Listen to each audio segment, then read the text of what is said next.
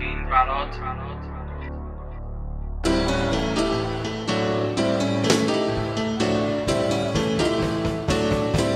Croeso i ailddallediad Radio Gwynllw, gyda fi Megan, fi Sophie a fi Megan.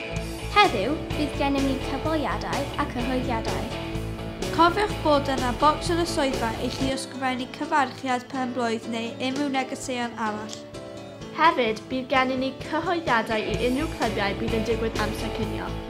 Mae Sophie wedi bod yn brysur yn cyfweld Annis James ynglyn â pharatoadau yn y doleg. Ond yn gyntaf, dyma cam.